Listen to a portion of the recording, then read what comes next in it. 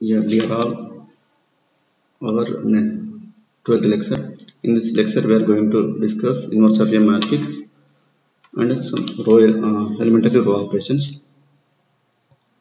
The first we discuss uh, let the inverse of a matrix. Let A is some n by n matrix. Then B is an n by n matrix called a left inverse of A if B equal to n.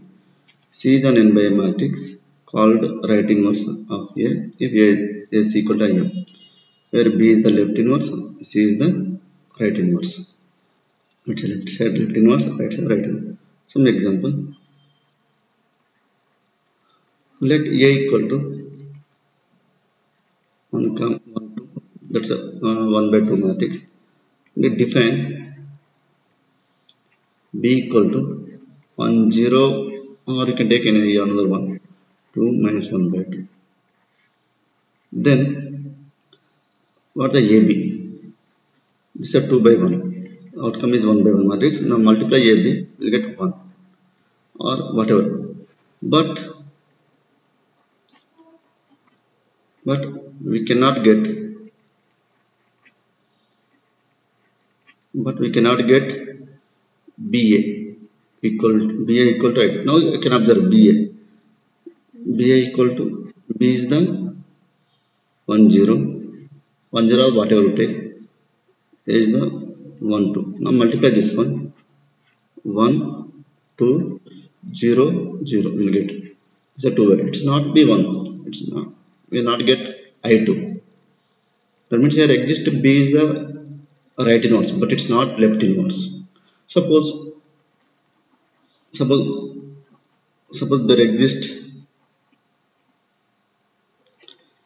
there exists a B such that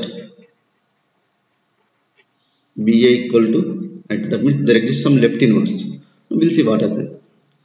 BA equal to I2 now take I am taking that um, uh, minus 2 1 this one can I write I2 into minus minus 2 1 I2 I2 is BA minus 2 1 this one B into A is 2 comma 2 1 into minus 2 1 now multiply these two matrices B into 2 into minus sorry better. So here is 1 2 1 2 the minus 2 plus 2 0 that is 0 it's a contradiction. We're getting contradiction a matrix has a left inverse but it's not has right inverse. But there is a right inverse there but it's not exist left inverse.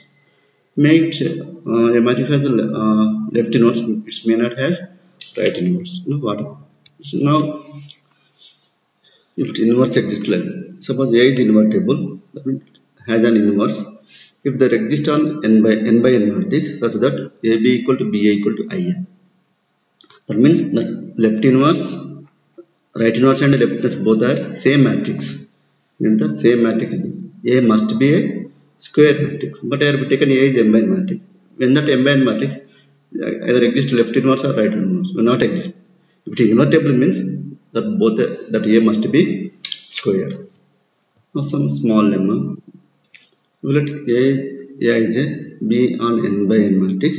If there exists on n by n matrix b and c such that ab equal to in and c equal to in then b equal to c. Suppose a matrix has left inverse and right inverse there exist that both have same. When that a is a square matrix yeah. that is if a has left inverse and right inverse then they are equal. Now the proof simple the lemma proof.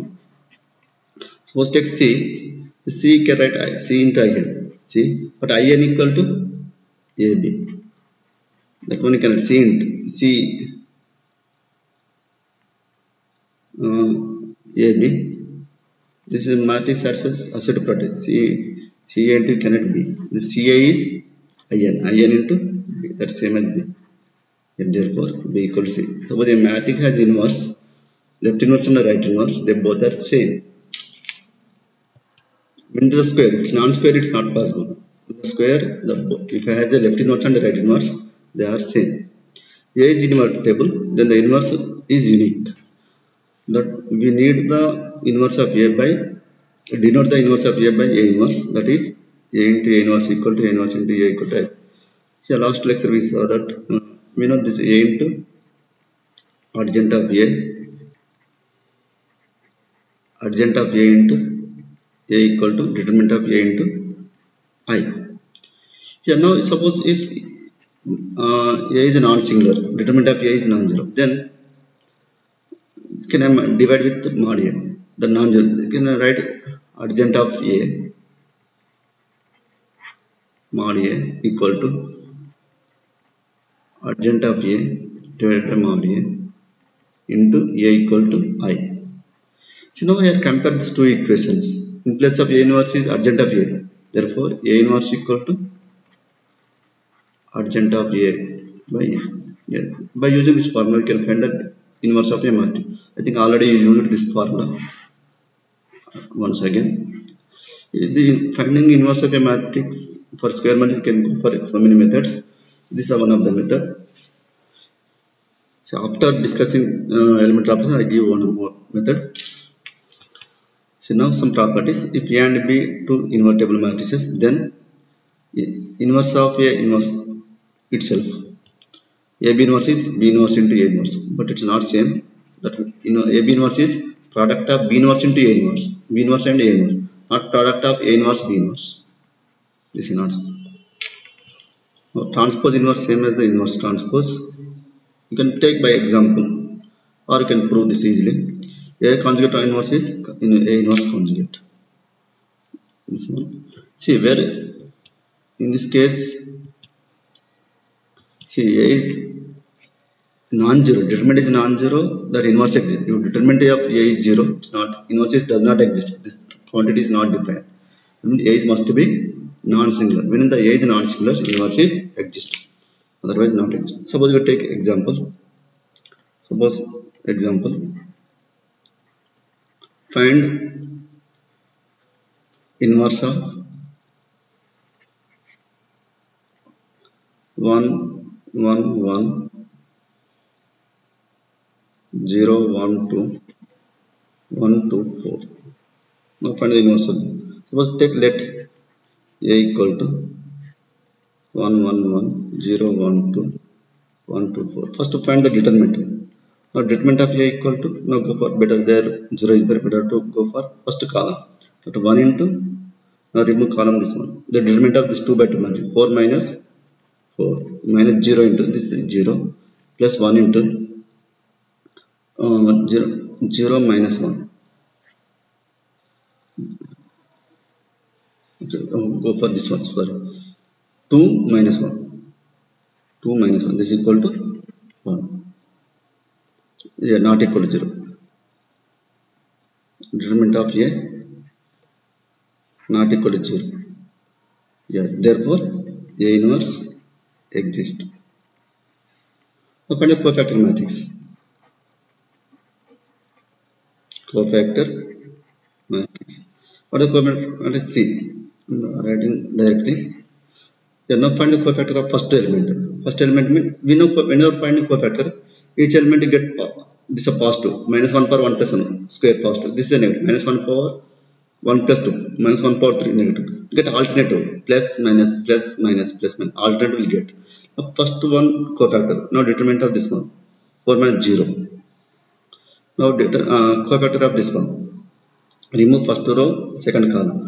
Uh, 0 into 4 0 minus 2 minus 2 but minus of minus 2 2 now cofactor of this element. 0 minus 1 but again plus. That minus 1 cofactor of 0 remove this one. 4 minus 2 2 but this is minus. Uh, cofactor of 1 4 minus 1 4 minus 1 3 there positive 3 negative means is positive. Uh, this one. 2 minus 1 2 minus 1 1 but this element is negative minus 1 uh, this one. 2 minus 1 1 positive uh, positive negative positive again. 2 minus 1 this element is 2 negative negative positive negative again it this one one minus uh, 1 the positive this one. This is C. Therefore, adjoint of A equal to C transpose. Transpose of a cofactor matrix is equal to 0, 2, minus 1, minus 2, 3, minus 1, 1, minus 2. Yeah. Hence, A inverse equal to adjoint of A divided by determinant of A is equal to 1 by 1 adjoint of A 0 minus 2 1 2 3 minus 2 minus 1 minus 1 1 the same as there is no problem just say 2 3 minus 2 minus 1 minus 1 1 is the inverse so now you want to check this is correct or not. Now take the product a into a minus 1 it must be i. Suppose you are not getting the product is identity. We did some that simple question you have to recheck. Okay. this is the way to find the inverse of a matrix. Next some elementary row operations already we studied this elementary row operations again we discuss.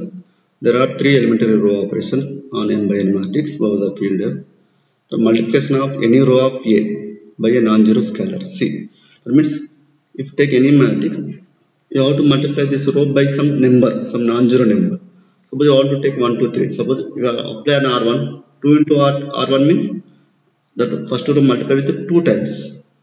Whatever r2 the second row multiply.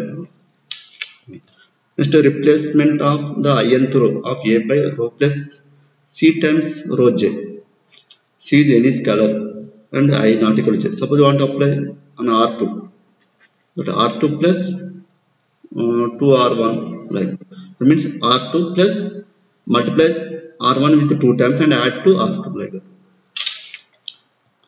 next interchange of any two rows interchange r1 to r2 R, suppose you are uh, interchange the r1 r2 now write r in place of r1 is r2 in place of r2 is r1 interchange definition if a and b are m by n matrices over the field f we say that b is a row equivalent to a.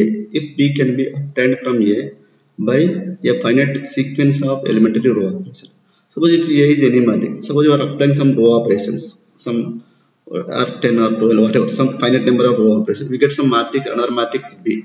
Then this matrix is called row equivalent to a here this is the way now our column uh, elementary column operations also there same way but we are discussing only we are using only row operation. That's why we discuss row operation. Same thing um, uh, we can apply on columns also. Some example let a equal to this matrix using elementary row operations transform a into identity matrix. They are given a. 1 2 3 minus 1 0 2 2 4 4 this a now he is asking uh, is asking to convert to identity. This is the identity 1 0 0 0 1 0 0 0 now you have to transform to identity. Now apply the operations. See now here first element is 1 is there no need to write suppose it's a 2 or 3 there now first convert to 1 now you have to convert to these two elements are 0 now apply an r1 r2 now this is 0 means when it's 0 apply r2 plus r1 now again you can apply at r3 also. What is the r3 r3 when it's 0 multiply r1 two times and subtract. Now outcome that 1 2 3 0 adding this 2 2 2 plus 3 5 now subtract multiply with 2 and subtract 0 4 minus 4 0 4 minus 6 minus 2 now again uh, second this element is 1 now r2 now multiply with 1 by 2 and apply an r2 what will get? 1 2 3 0 1 5 0 0 minus 2 now using this second one now convert to this term 0 now that will apply now on r2 r1 r1 minus 2 r2 if you use this operation that's 1 0 you multiply with 2 10 3 minus 10 minus 7 0 1 5 0 0 minus 2 now here is minus 2 is there. Now convert to 1 and apply an r3 minus 1 by 2 into r3 this will get 1 0 minus 7 0 1 5 0 0 1 so now using this one convert this two term 0 now apply on r1 r1 minus plus 7 r3 and apply on r2 r2 minus 5 r3 5 r3 now we get 1 0 0 0 1 0 0 0 1 this is the identity. Now we are converted to identity. This is the way to convert to identity. So now by using this elementary operation we can find the inverse also inverse matrix suppose we are taking a is a 3 by 3 matrix we take 3 by 3 we take i3 now apply row operations. Whatever apply row operation apply same operation on i3 we'll get some outcome is it's convert to i3 and this is the some matrix b where the b is inverse of a now we have row operations convert to this A matrix to identity. By the uh, row operation, we will get some matrix that is the inverse of A. So this is the called Gauss Gauss method, Gauss um, Gauss Jordan method, finding inverse by Gauss Jordan method. So you can find inverse any method. Now I give two more problems. Try these problems. If any doubts, you can contact me. So now we stop here. Thank you.